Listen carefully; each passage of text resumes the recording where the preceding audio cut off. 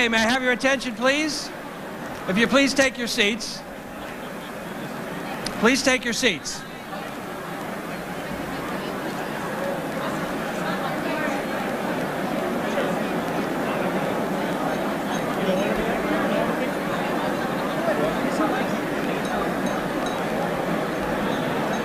Please take your seats. The program is resuming. It's now time for us to honor some of those reporters who excelled during the past year and to look to the future to honor the high school student who we believe has the potential to set higher standards in the coming years.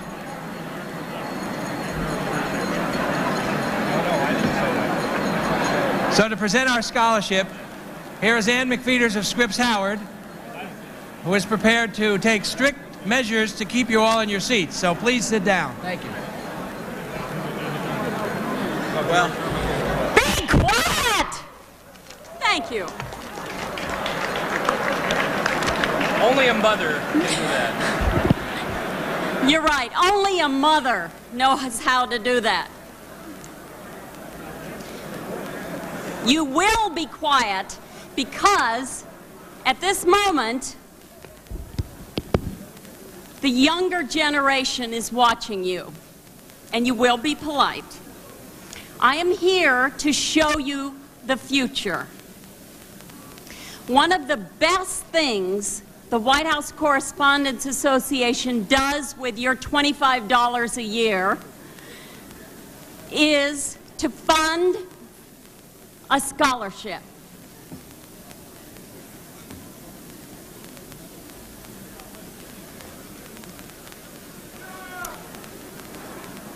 You will be quiet, thank you. One of the important things that we journalists have to do is to convince the youth of tomorrow to read us and to watch us because what we say about our country is important. With thanks to Ken Walsh and Larry McQuillan for their work on the scholarship committee, I want to introduce you to your future. A young man named Fred Bennings III. He is the winner of the White House Scholarship Committee Scholars, Frank Cormier Scholarship this year. He is vice president of the senior class at Spingarn High School in the District of Columbia. He is editor in chief of his school newspaper. He is a graduate of the space camp at Huntsville University. He is a real go getter. He wants to own his own electrical engineering firm someday. And the most important thing for a lot of you here is that he is interested in the news. He employs you. Please welcome and wish a life of success for Fred Bennings III. Thank you.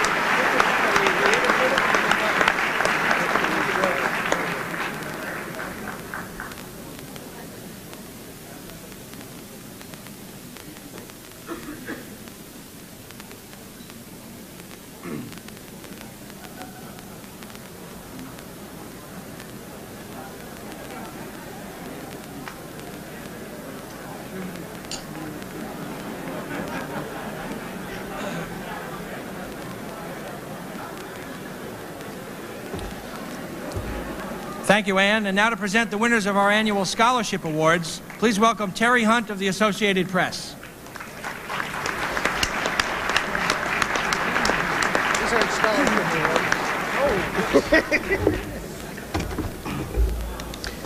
This part of the program is about money and recognition, and it's all well deserved.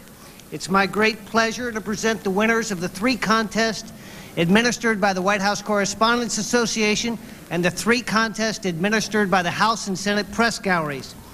First, the Merriman Smith Memorial Award. This is given for presidential reporting under deadline pressure. It commemorates the work of the late Merriman Smith, the longtime chief White House correspondent of United Press International. In the newspaper category, the winner is William Neikirk of the Chicago Tribune. Bill won for a story written during President Clinton's trip to Europe for the 50th anniversary of D-Day. In the broadcast category, the winner is Mara Liasson of National Public Radio.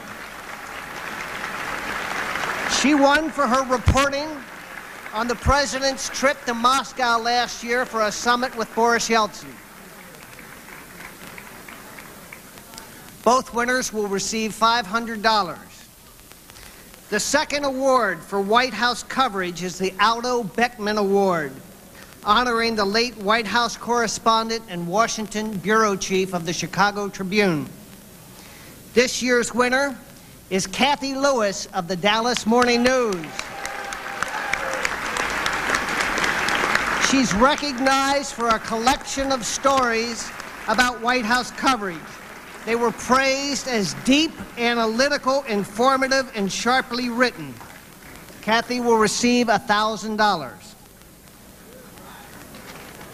Next, we have the Edgar A. Poe Award, honoring our distinguished colleague, Mr. Poe, who is a correspondent for the New Orleans Times-Picayune and Newhouse newspapers. The winners are Russell Carollo and Cheryl Reed of the Dayton, Ohio Daily News.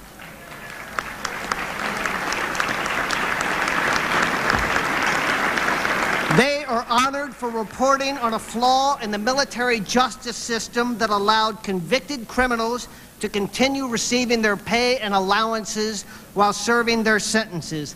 The prize is $2,500. The judges also awarded honorable mentions to Susan Feeney and Steve McGonigal of the Dallas Morning News,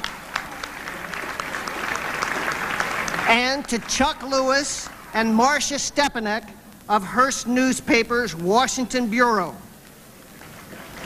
There are more. The Raymond Clapper Memorial Awards are given in honor of a Scripps Howard war correspondent. The first prize goes to, and you've heard this name before, Susan Feeney and Steve McGonigal of the Dallas Morning News.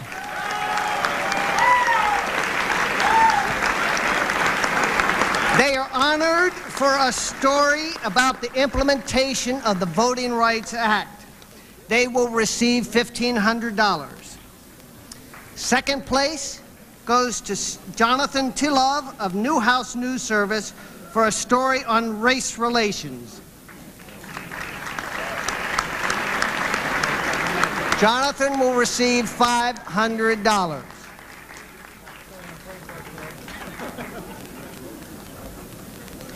There is an honorable mention to Lee Davidson of the Deseret News.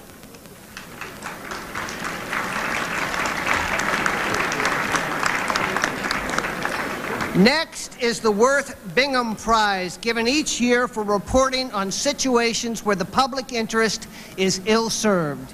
It is given in honor of journalist Worth Bingham.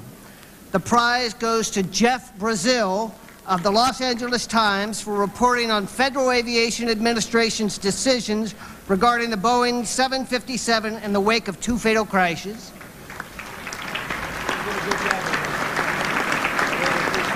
The award is also given to Ralph Blumenthal and Douglas Frantz of the New York Times for their story on safety problems of U.S. Air.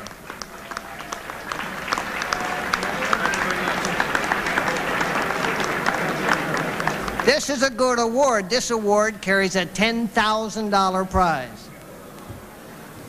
An honorable mention goes to the Cleveland Plain Dealer and reporters Joel Rutchick and Timothy Hyder. Finally, tonight, we have the Barnett Nover Memorial Award. It honors the late Washington Bureau Chief of the Denver Post. And tonight, we note with sorrow the death last weekend of Mr. Nover's widow, Naomi Nover. She was an enduring presence in Washington's journalism circles and was known well to many in our audience tonight. The first prize in the Nover Award goes to Jerry Seper of the Washington Times for his whitewater coverage.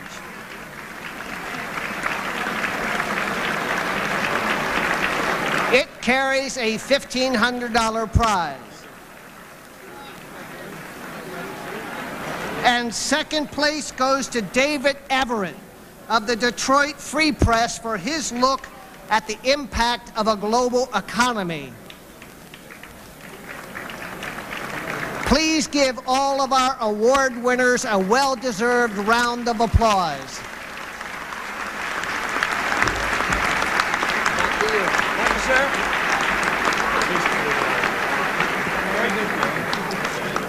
Thank you, Terry. Before I turn the gavel over to my successor, I just wanted to make a few brief comments. First of all, to acknowledge my family in the audience tonight and friends, and to thank some people at uh, U.S. News who have made it possible for me to serve as your president. Mort Zuckerman, Merrill McLoughlin, Mike Ruby, John Walcott, for their support throughout the last year. I want to acknowledge those at the White House who worked with us so diligently to improve access, rebuild the travel office, try to hold down costs so as many news organizations as possible can cover the president when he travels, and in general help us to do our jobs better. In that regard, I want to specifically thank Mike McCurry, press secretary, Dee Dee Myers, Evelyn Lieberman, a former White House staffer named David Gergen, Steve Rewerts, Ann Edwards, and of course the President and Mrs. Clinton. When I took this job a year ago, I didn't realize the weighty issues we'd be dealing with.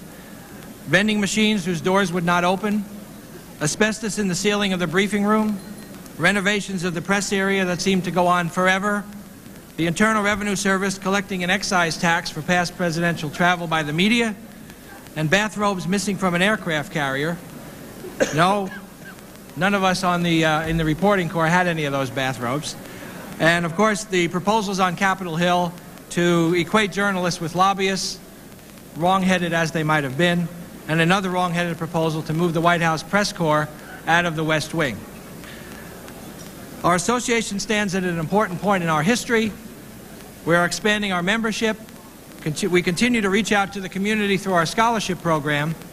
And we have worked with many of you here tonight and with the White House to improve access to the President and the senior staff. We have, I hope, reduced some of the unnecessary misunderstandings and frictions that too often characterize the relationship between the media and the White House in the past. We're now giving our ideas to the National Park Service as it develops a design plan for the use of the White House over the next 20 years, and we hope, welcome your suggestions and ideas. With your help and support, the association will continue to evolve into an even more effective voice for the White House press corps. I want to tell you how honored I am to have been your president for the last year. And now to tell you what the next year will bring, I'd like to introduce my successor, Carl Leubsdorf of the Dallas Morning News. Thank you.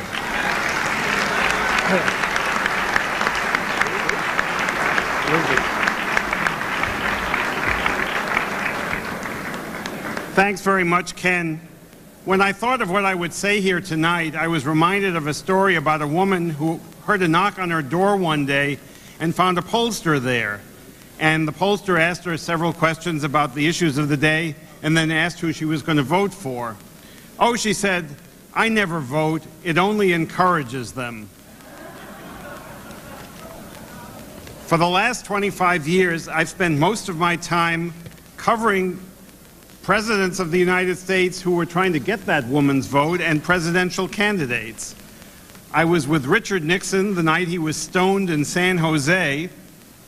For those who don't go back that far, a group of demonstrators threw rocks at him. I was with Jimmy Carter. I was with Jimmy Carter the day we learned he had lust in his heart. And I wrote the story that prompted George McGovern to say he was 1,000% behind Thomas Eagleton. With that record, Mr. President, you probably hope I spend most of next year with the Republicans.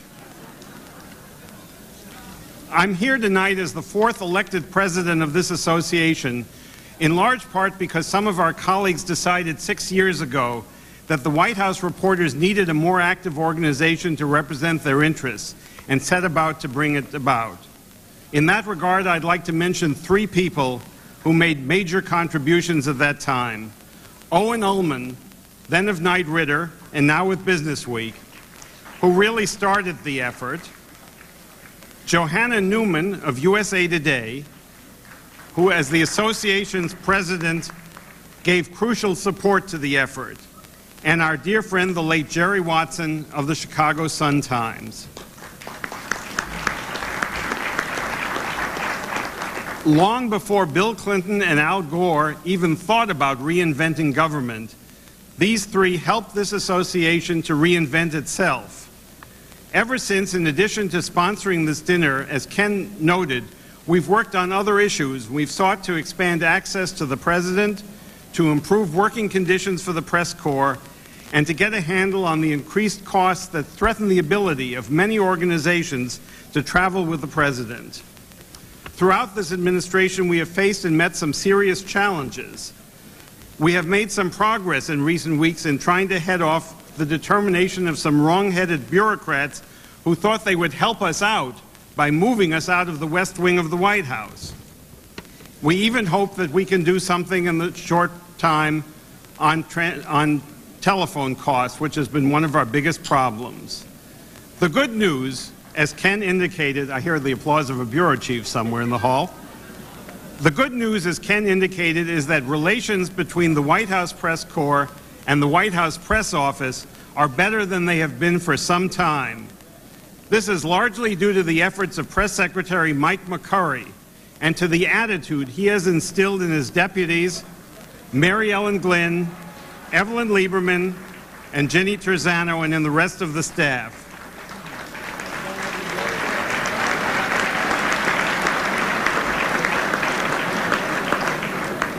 Thanks to Mike's leadership and Evelyn's efforts, for the first time, we are having serious talks with the White House about forging a cooperative relationship.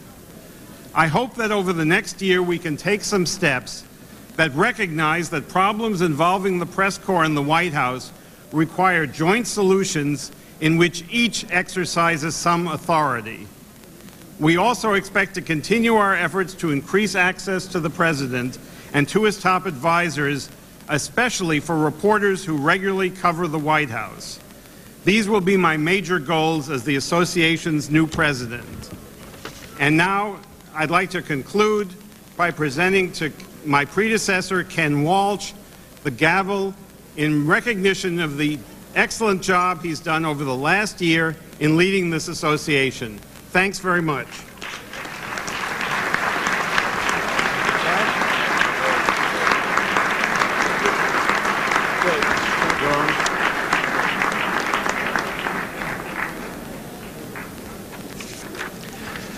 Thank you, Carl.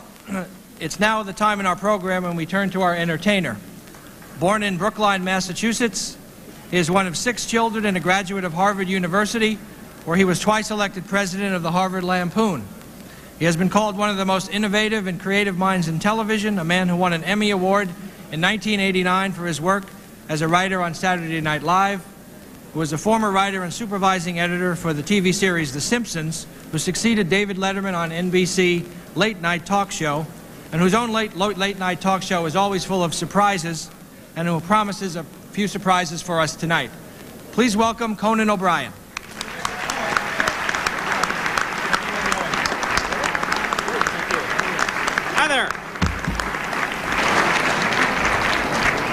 Thank you, uh, Ken Walsh, Mr. President, Mrs. Clinton, members of the White House Correspondents Board, members of the association, Tom Selleck. Big fan, hi. How are you? Wow. He's here. It's, uh, it's a real thrill to be here. Um, I want to say there is uh, actually nothing more inspiring than watching the peaceful transition of power from one White House Correspondents Association president to another. I, uh...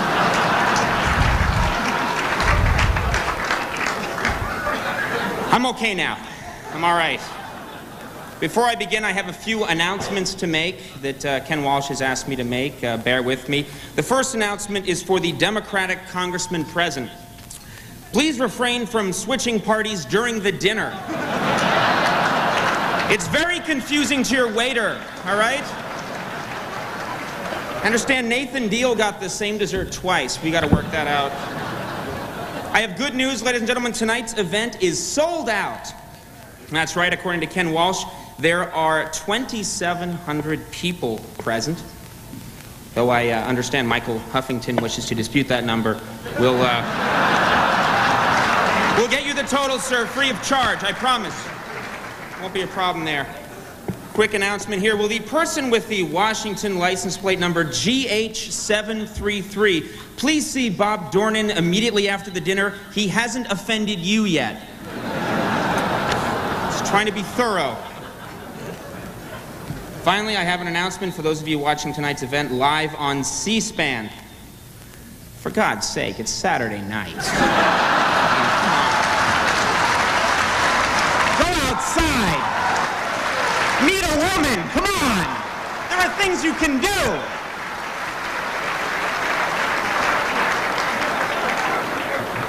I want to say, though, I am. Uh,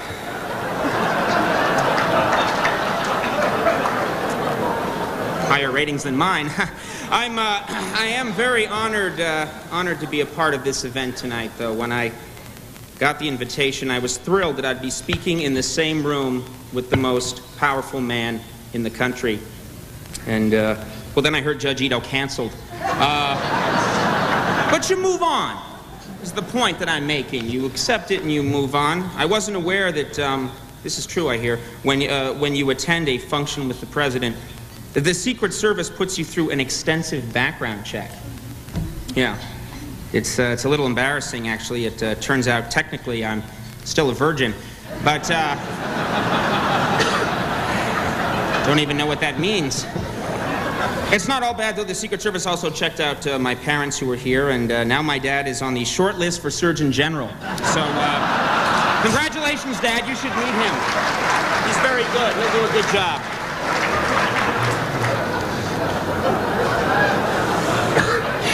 I should uh, probably tell you something about myself. I, I am a talk show host.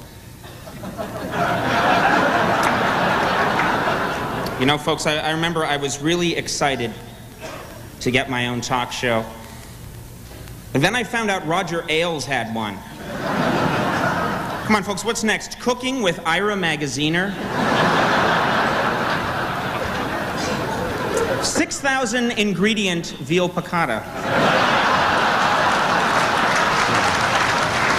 Tuna casserole made difficult. It's a great show. Check it out.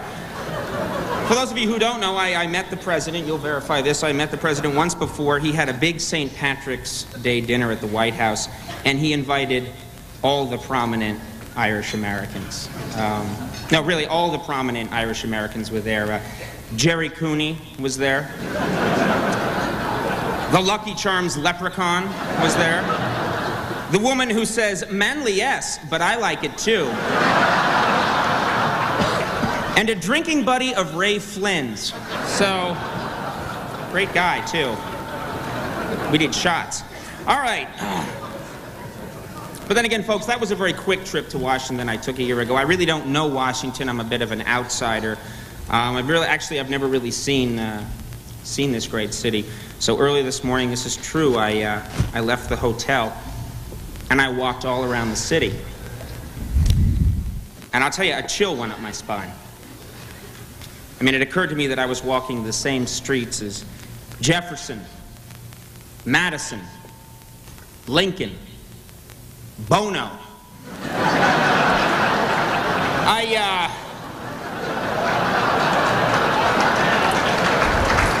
I'm not over it yet. Fun trivia fact for, you, uh, for those of you uh, who are interested. I, I, am, I was a history uh, major, and uh, just I'm going to tell you this right now.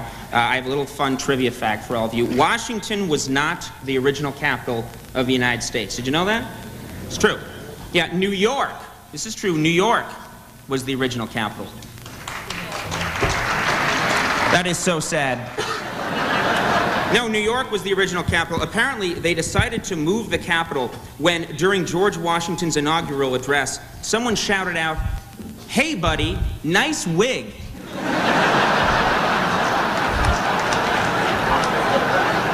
now, I'm just telling you stuff you should know. That's my job here. I, I, got up early this morning, though. I did walk around, and I, uh, I went and I decided, for inspiration, I would visit the Jefferson Memorial. You ever done that? Everyone goes to the Lincoln Memorial. You know, no one ever, for inspiration, goes to the Jefferson Memorial. So I went to the Jefferson Memorial, and I was very inspired because carved in the beautiful marble on the walls of the Jefferson Memorial are some really inspiring sayings. Uh, listen to this. First one uh, at the top. I have sworn upon the altar of God eternal hostility against every form of tyranny over the mind of man. And then just below that, I know but one code of morality for men, whether acting singly or collectively. And then way down at the bottom, carved in marble, it says, P.S. If there's ever a movie about me, please don't cast Nick Nolte. it was probably the most moving experience of my life. But let's, uh, is he here? No. I, um, for this speech, I'm an outsider. I'm from Boston, Massachusetts. I live in New York, and I really wanted to get inside the Beltway for this. I wanted to get, for this speech, I wanted to get into the same mindset as most of you people in Washington. I did. So right now, I would like to announce that I am a Republican candidate for president. Thank you very much. See me on the way out. About donations. I actually, I actually went to Senator Byrd for advice on my speech you know, get a little advice. And he said, keep it to 14 hours. he said, after that, you start to lose them. But I am serious. I wanted to get plugged in for this. I'm not plugged in to Washington. I wanted to get plugged in, so I've actually been watching the Sunday morning Washington shows very diligently for the last couple of weeks. I watched Brinkley's show with Sam Donaldson, uh, who I understand is in big trouble for accepting uh, $50,000 in farm subsidies. Yeah. No, I, I, guess that thing on his head is technically a farm. I didn't. No one told me. I didn't know.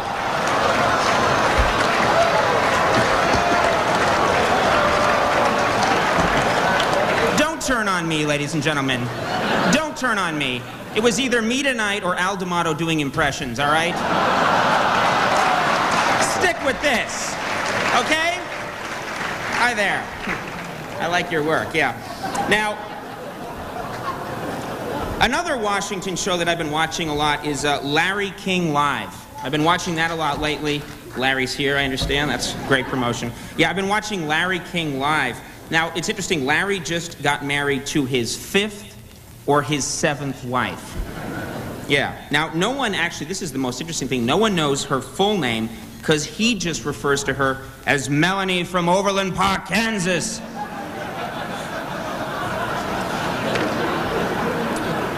Not worth the crappy impression. All right, now, all kidding aside, though, I am very impressed. I am very impressed. I want to be sincere here. I'm very impressed with the fourth estate in this country. I really am. And uh, I think, I really do think the press should be applauded for finally shifting focus from Mrs. Clinton's hairstyle to Marcia Clark's. I think you, you people, don't you agree? It was time. It was time.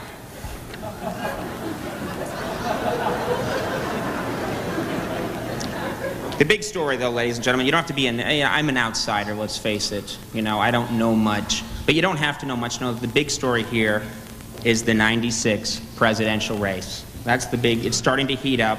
It's starting to get going. And uh, Bob Dole is a big story, right? Bob Dole just announced pretty recently.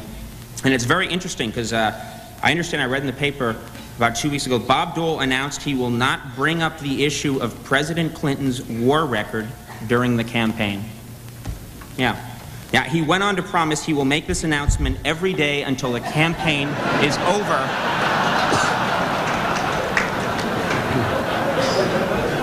Huh? I know the man, yes. He's been on my show. If I can get Tom Selleck, I'm we'll talk after the dinner. You're doing it Wednesday. Um, Senator Dole, I understand, is unhappy with Phil Gramm for entering the race. Yeah, I, I guess uh, I guess he thought he had the surly old guy vote wrapped up. this is disappointing news for him. You understand?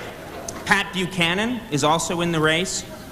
And this is, I thought this was interesting. When Pat Buchanan announced his candidacy, some people, this is kind of ugly, some people ran onto the stage carrying signs that read, Pat Buchanan is a racist. A and those were his supporters. I mean,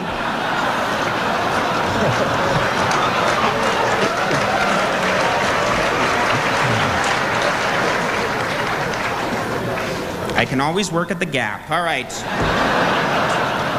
Corduroy section, yeah. I'll be there. Newt Gingrich, apparently, though Newt Gingrich is, uh, is one of the biggest stories. I know he is not a candidate uh, for the 96 race, but he's one of the biggest stories, even for an outsider like me. And uh, this is a true story that gives you some idea of, of Newt Gingrich's popularity. A company, this is true, a company is manufacturing underwear with Newt Gingrich's face on it. That's true. Yeah, now someone told the president this, and he said, hey, it's nothing to me. He's been on my butt for two years. And, uh, That's a quote. That was in the Times. I read that in the Times. The source is here. Now, I'm not an expert on politics and I'm not an expert on the contract with America, but I understand one part of the contract that didn't pass is term limits right? Yeah, term limits didn't pass. Now, it's interesting. I went and I looked it up. Term limits were first proposed by Strom Thurmond in 1910. And you should know the history of this stuff if you're from Washington. Now, I move on to President Clinton. And I'm going to say something very briefly in the, in the vein of the 96 race. Some people some people say the president is going to have a tough race in 96. Um, some say it's not going to be easy, it's going to be an uphill struggle. Well, I speak for the 30 and under generation. And Mr. President, I want you to know you don't have to worry about us because we don't vote.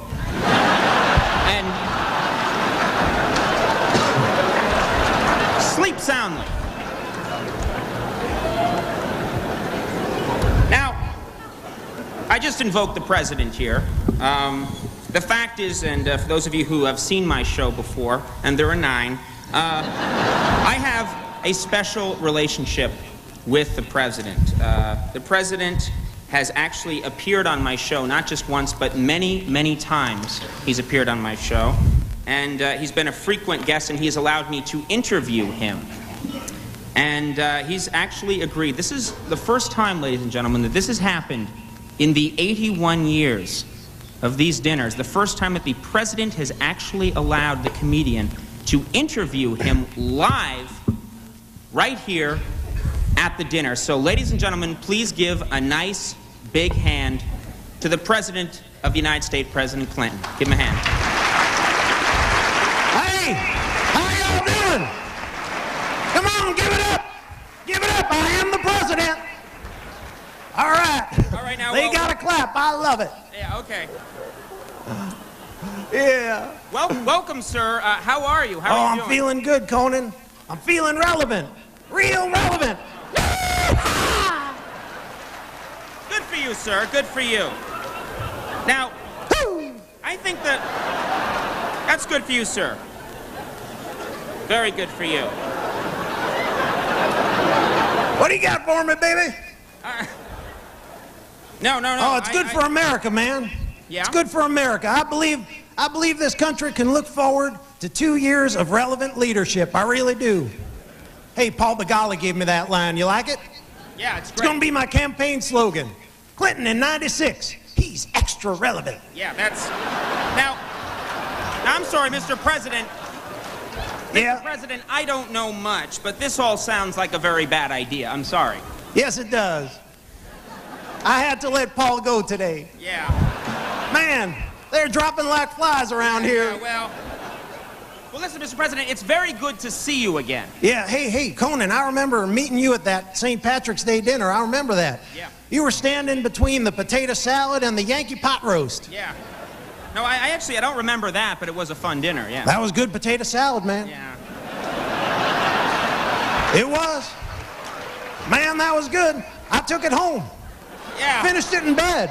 Yeah. Oh, I'm fine. Fine. Hey, by the way, Conan, did you like the uh, today's dinner, the halibut with the little baby carrots? Yeah. That was my idea. Really? It Really? was my I idea. I'm that. telling you, the, I'll Your tell you, the? Republicans will try to take credit for that, but I'm telling you, it was my idea.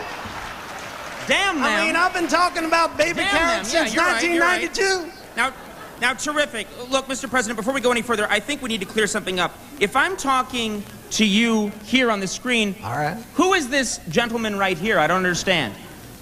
Uh, ho- yeah, uh, well, that's my stand-in. Yeah. Yeah, that's Kevin. Give him a hand. Kevin. Yeah, Kevin. He's great. He doesn't quite have the voice down, but he's getting it. Kevin's Yeah. been my stand-in for the last uh, year and a half. Yeah. Uh-huh. Yeah, that's great. That's great. Really, he's he's been Yeah, yeah, for he's the guy half. who messed up health care. All right, me. Mr. President. I've been doing other stuff. All right, well, blame it on Kevin then. Fine. All right. Oh man, I see now. Uh, now, where are you? If if if Kevin is here now, Right. where are you at this moment? I don't understand. All right, I, I- right now. I'm over at the House of Representatives. I'm Uh-huh. I'm still making my State of the Union speech. Oh. I see. Yeah, yeah. It's kind of quiet here, but I'm coming up to a big finish. Yeah, that's that's really great. Good for you. Good for you. That's great. CBS is covering it. Yeah. You can catch it anytime. They're real happy with the ratings. It's Yeah, I'm sure uh, they are, Rescue yeah. 911 and Walker Texas Rangers. Now, sir, that brings up something. You do seem to be having some trouble getting television time. Well, hey man, we're on TV now. Yeah, but Mr. President, we're on C-SPAN. C-SPAN. Yeah. Yeah. Kind of like a tree in the forest. Yeah. You know what I mean? Yeah, I know. Say no more. You know. C-SPAN. Whew. That hurts. Oh well. Oh well, if no one's watching, uh, hey everybody, I inhaled. Yeah. I smoked my brains out. They used to call me Weed Willie. That's fine, sir. That's fine. Yes. yeah, that's good. Now listen, sir. Sir, please. I want to help you Whew, here. that was fun. Now come on. Kevin's losing it here. Sir? That was fun, sir, but you know, you need, uh, what you need to do, and I want to help you, is you need to get your message out. What message? oh, I know. Oh, I, I'm sorry. I mean, I mean, you know it, Conan. My message. Yeah. School lunches. Oh. Wait, wait, that's the message? Hey, I'm working on it, man. Back off. All right. I'm very sorry, sir, but I, I gotta say, though, things are really looking up for you right you now. bet They they're really looking are. up. I'm relevant. Yeah. School lunches. Yeah, that school lunch is terrific, but actually, sir, things aren't so bad. Your approval rating is up. Yes, it and is. a lot of yeah, it's up right now, and a lot of people say uh, that that's because you've been keeping a low profile. Is that true? That's right, baby. I'm laying low. Playing it cool. Very nice. Yeah. Playing it cool. Yeah. yeah. Yeah, I'm laying low. Getting a lot. I'm getting a lot of stuff done people don't even know about. That's right. Really? Uh, expand on that. What do you mean? That's right, man. Like like Michael Jordan coming back. That's me. That's me. Really? Wait. This is important. the other Wait, night. you did that? What else did you do? Well, uh, you know that new pizza with the cheese in the crust? That's mine. I got that done. Wow, I gotta say, that is that is very impressive. Uh, Yeah, yeah. See, Conan, the president, the press, the press doesn't report all this good stuff. I mean, they don't, they don't want you to hear about the pizza. They got their own agendas. They're, man, they're a bunch of lowlifes. Mr. President, I should probably mention this. Uh, we're at the White House press correspondence dinner right now. What? Yeah, the correspondence dinner. I mean, everybody from the press is here.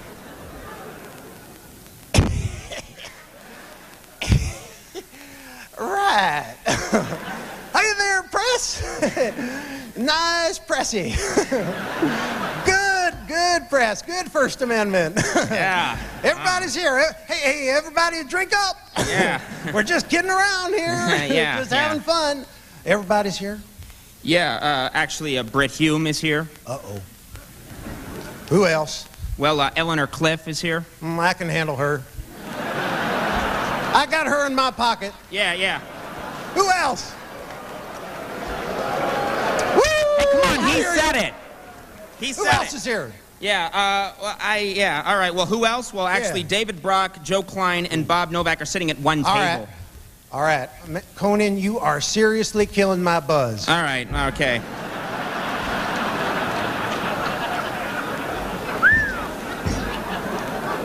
Well, I'm very sorry, sir. I didn't Well, mean to do that. Magnum Are there PI's any... here. Yeah, that's fine. Are there any other secret achievements that we should know about here? Oh, yes. Conan, Conan, just last week, I narrowly averted a professional tennis strike. That's right. I. Really? I, I, I never even heard about that. I don't, I don't think anyone did.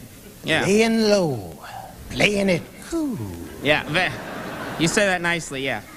I guess I understand you've also got other good news. Robert McNamara's book just came out saying Vietnam was a mistake. That's and right. I, I guess now your, your war record is no longer an issue. That's right. I'm vindicated. That's right. It was a bad war, and I chose not to serve. It was the right thing to do.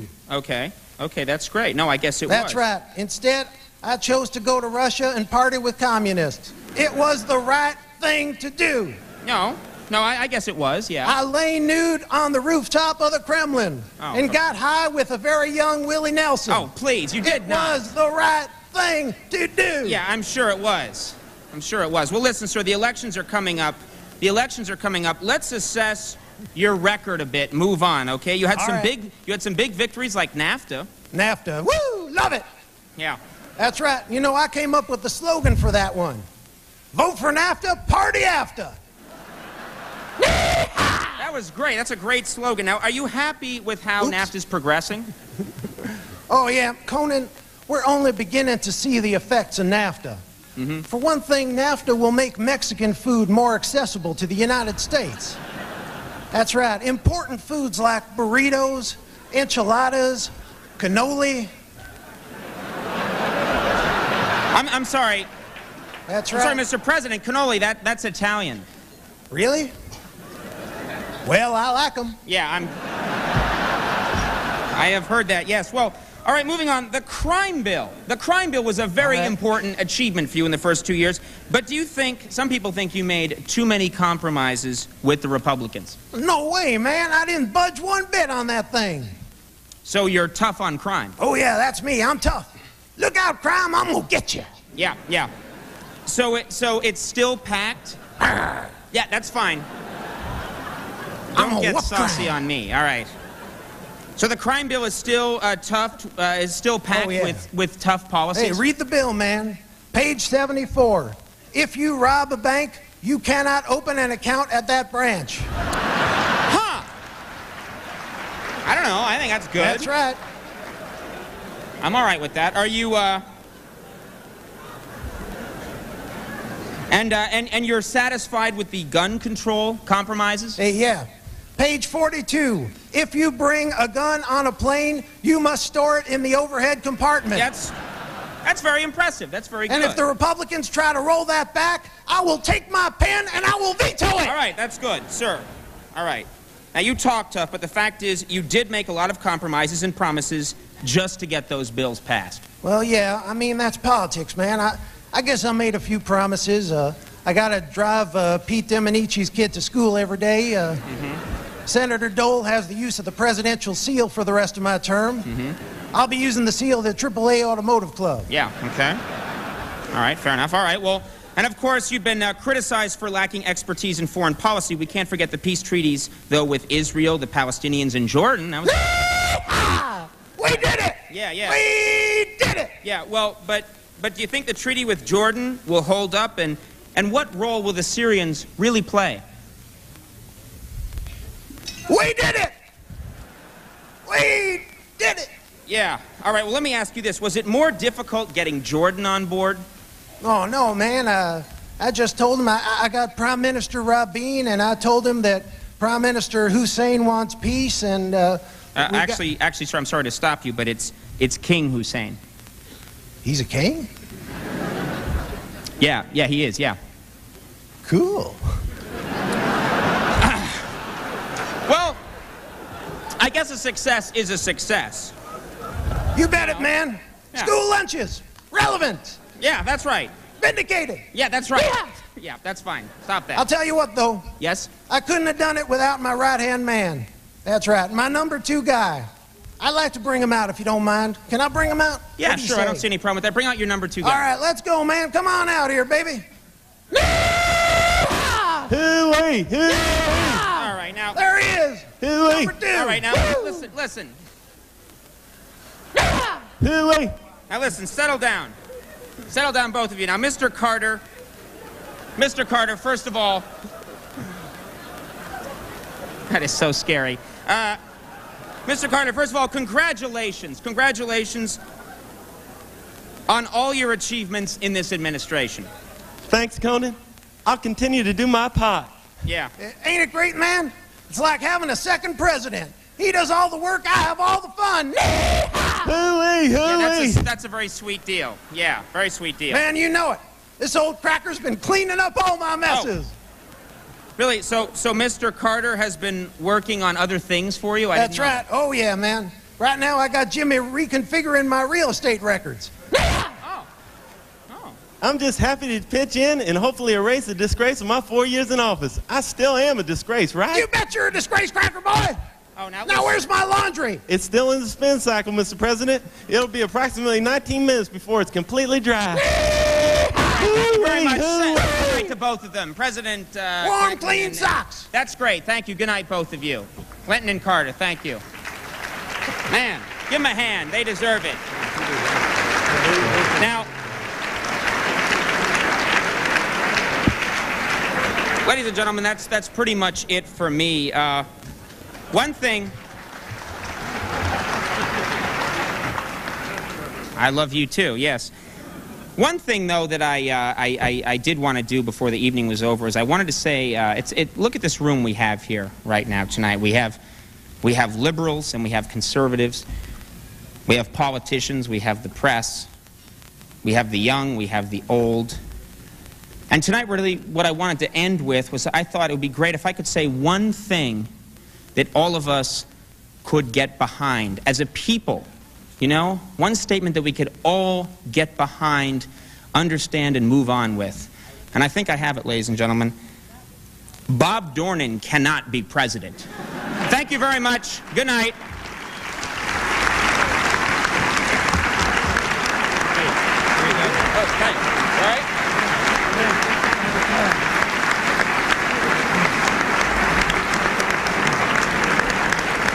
Great.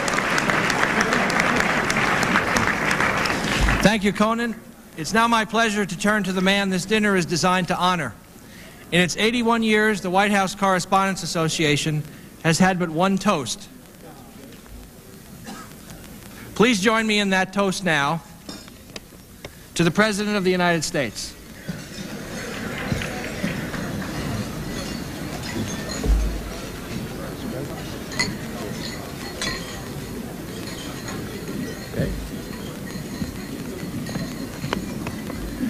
Now, ladies and gentlemen, President Clinton.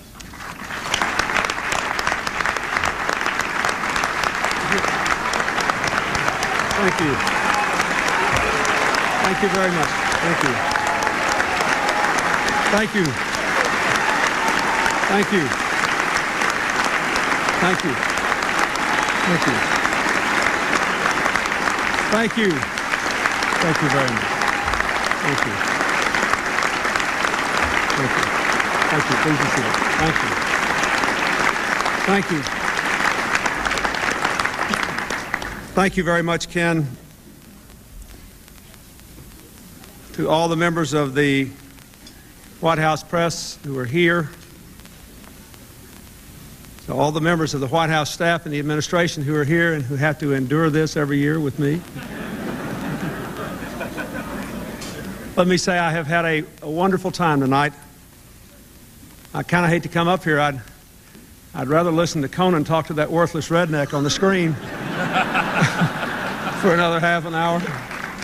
I uh,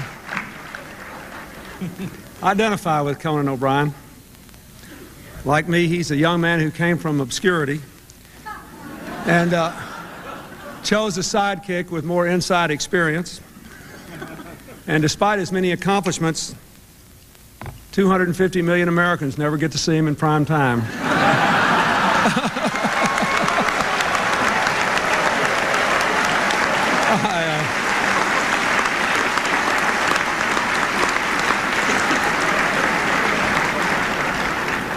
I feel your pain. Uh, speaking of young people, it was announced tonight, you know, that, that my press secretary, Mike McCurry, and his wife, Deborah, just had their third child, Christopher. Uh, I want to make another announcement. Uh, before my term is over, Christopher will become the youngest member of the White House press office, just barely younger than the rest who work there. You know, I practiced for this night. I had all this humor and everything, but, and I really believe it. You could tell I, I really like that, uh, whoever that awful person is that played me. I thought it was wonderful. The, uh, the book of Proverbs says, A happy heart doeth good like medicine, and a broken spirit drieth the bones, and I believe that. Uh, but I think you will all understand that, and I hope my wonderful comedy writers will understand if I, I take a few moments tonight uh, not to be too funny here at the end because of uh, the tragedy in Oklahoma City, which has captured us all and which still is the focus of our efforts for understandable reasons tonight, as the rescue workers are still laboring and as the uh, law enforcement officers are still working. Uh, tonight, and Ken and I were sitting here, and he let me read his latest essay about the heroism of the people in Oklahoma City. And, and I want to say something personal to all of you. I know that for virtually everybody in the press in this room, uh, this has been a very painful experience for all of you, too, who have covered it and to have been Americans, to have been parents and children and brothers and sisters, and to have identified with the human tragedy on such a massive scale. And what I want to do tonight is to tell you that. Uh, I really appreciate the way this incident has been presented to the American people. I think you have made an extraordinary effort to capture both the horror and the humanity of the situation, to somehow grasp and communicate to your fellow citizens the incredible honor with which so many people have performed in these last difficult days. Most of you were able and I think it was difficult to show commendable restraint and not jumping to any conclusions about who did this terrible thing. And most of you have really done a great deal to help the American people find some renewed strength and energy. And I thank you for that. And I hope in the days ahead you will be able to continue it. As this story unfolds, I, I would ask you to continue to return to Oklahoma City to update our country on how the families who have suffered so much are rebuilding their lives, and to remind us about the countless heroes we have all seen there. The terrible people who did this thing do not deserve to be celebrities, although they will become famous. But the victims and their families and the people who have labored, they don't deserve to be forgotten. The heroes of this tragedy embody the unbreakable spirit of our nation. They should always be remembered. The hundreds of rescue workers who defied the rain, the cold, the heartache, and a very real risk to their own lives. People like Rebecca Anderson, a nurse with four children whose parents still live in my home state, who was hit by a piece of concrete and later died trying to help others. Even in death, she continued to serve the living by giving her heart to save the life of a man from Oklahoma and one of her kidneys to save the life of a woman from New Mexico. Now, folks, that is the real America. Sometimes all of us forget it a little bit. Sometimes all of us are too bound up in what we are doing. But this country is bound together in a way that the people like those who committed those crimes in Oklahoma can never understand. And I know our government is not perfect, and I know it makes mistakes, but this is a very free country and a very great country. And a lot of the people who are out there complaining about it today would not even be able to do what they do in the way they do it in most of the other democracies in the world today. We should never forget it.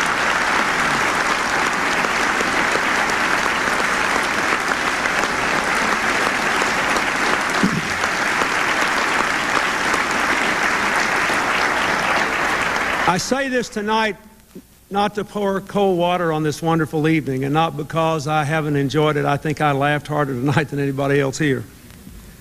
But because as long as this work is going on, I think I owe it to you to tell you for all of our uh, sometimes conflicting interests, I am really proud of the work the American Press Corps did in bringing this to the American people. And the work is not over. The understanding is not over. We have a lot of difficult decisions to make in the weeks and months ahead.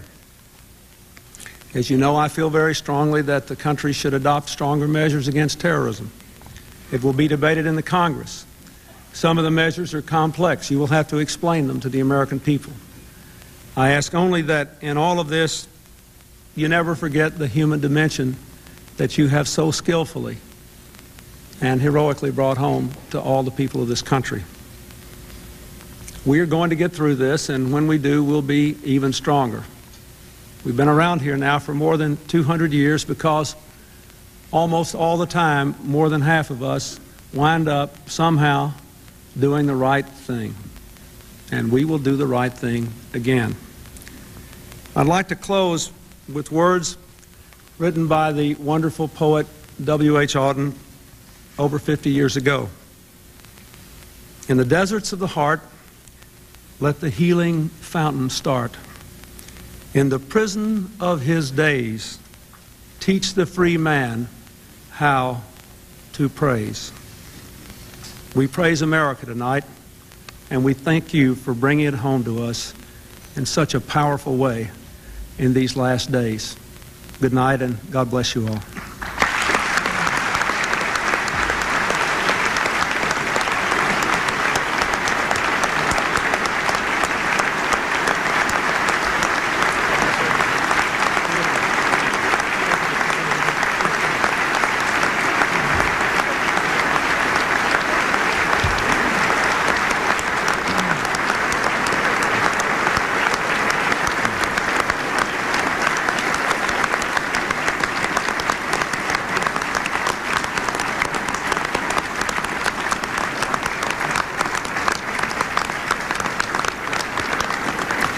You, Mr. President. Before asking you to adjourn to the receptions being sponsored tonight by various news organizations, I just want to thank a couple of people who've worked so hard to make this dinner a success.